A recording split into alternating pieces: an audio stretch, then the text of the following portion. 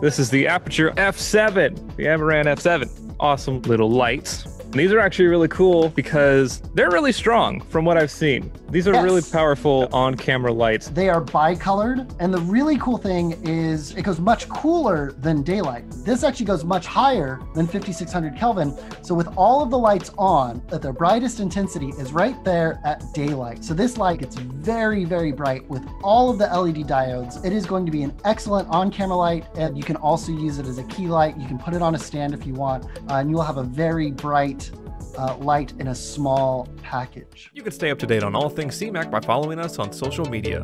Learn how you can become a member with access to equipment, editing tools, and other resources by going to cmac.tv.